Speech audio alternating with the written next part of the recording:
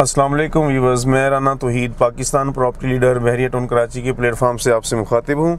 इस वक्त मैं बहरिया हिल्स के अंदर हूँ मौजूद, जहाँ पे 500 स्केयर यार्ड के प्लाट और 1000 स्केयर यार्ड के प्लॉट की कटिंग है, इसके अलावा बड़े प्लाट भी हैं, इसके अंदर, जिनके अंदर एक्स्ट्रा लैंड और बाकी चीज़ें भी हैं, मैं आपको इस वक्त उसका टूर करवाता हूँ। इसकी जो करंट सिचुएशन है कैमरे के अंदर आपको नज़र आ रही होगी कि बहुत ही ज़बरदस्त किस्म की ये प्रीसेंट है और इस वक्त मैं 14 अगस्त एवेन्यू के ऊपर हूँ और मेरे आप राइट साइड पे देखें तो ये सारा कंस्ट्रक्शन का काम बहुत ही तेज़ी से जारी है। इसके अंदर घर बनने जा रहे हैं, बहुत बड़े बड़े विलास अच्छी कंस्ट्रक्शन के साथ, और ये मार्केट में अवेलेबल भी हैं कि सेल के लिए ये विलास भी आ रहे हैं प्लाट भी आ रहे हैं। मार्केट प्राइस इस वक्त बहुत अच्छी है, बहुत बेहतर है।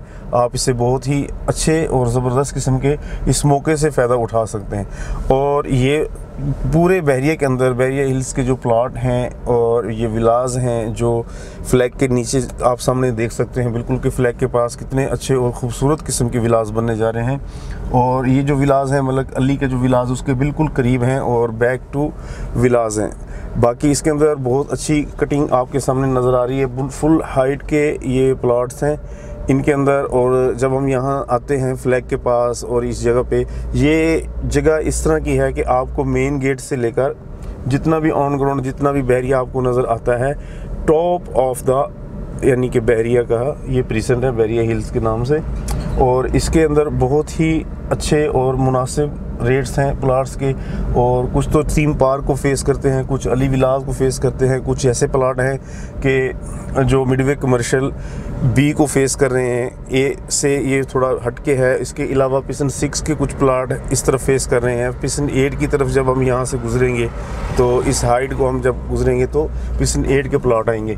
उसके बाद ये देखें, बहुत ही अच्छे और ख़ूबसूरत जो सबसे पहले घर बनने जा रहे थे, अब एक पोजेशन के लिए हंड्रेड परसेंट रेडी है और दूसरा ग्रे में है। और इसके ऊपर बिल्कुल ये फ्लैग है। कंपनीज़ जो हैं, बहुत अच्छी तरह की कंस्ट्रक्शन कर रही हैं इस वक्त और इसकी जो करंट सिचुएशन है, बिल्कुल आप देख सकते हैं। और फ्लैग के नीचे जो ये पट्टी आपको नज़र आ रही है, ये 500 स्क्वेयर यार्ड के प्लॉट हैं और इनके ऊपर जो विलास बनने जा रहे हैं और बन रहे हैं, इनका काम हो रहा है। आप इस तरफ़, देखते जाएँ। इनके अलावा इसकी जो पार्किंग है फ्लैग की, यहाँ पे बहुत अच्छी और ज़बरदस्त किस्म का व्यू आपको मिलता है। और इस व्यू के अंदर जो चीज़ें आ रही हैं, वो भी आप बखूब देख सकते हैं। इसके अलावा एक हज़ार गज़ की जो प्लॉट की कटिंग है, उनके जो विलाज हैं, मैं आपको उनका भी विज़िट करवाता हूँ। और इस जगह पे देखें, आप पार्किंग का निज़ाम बहुत अच्छा है, बहुत ज़बरदस्त किस्म का है। और ये जो सैड इसकी, अगर हम इसकी बात करते हैं तो ये राउंड अबाउट से बिल्कुल करीब आती है। फिर इस साइड की जो फेसिंग है, वो प्रिसन थर्टीन को जैसे जिना वो बड़ी मस्जिद है, जाम मस्जिद, ग्रेन जाम मस्जिद, उसको भी ये चीज़ फेस करती है और ये बिल्कुल टॉप का है। और बैरिया हिल्स आप देख सकते हैं जो इसके जो प्लाट हैं, इनकी कटिंग और ये जो सामने घर बनने जा रहे हैं, एक हज़ार गज़ की कटिंग के ऊपर बिल्कुल मस्जिद के फेसिंग करते हैं। ये मस्जिद की साइड पे आप देख सकते हैं, ये बिल्कुल मस्जिद को फेस कर बिल्कुल टॉप का, जो कि फुल हाइटेड एरिया है, ये है। और यहाँ से अगर आप देखेंगे तो precision eight precision eight Bahria Heights जो वन थी, उसको आप देख सकते हैं, यहाँ से व्यू मिलता है आपको।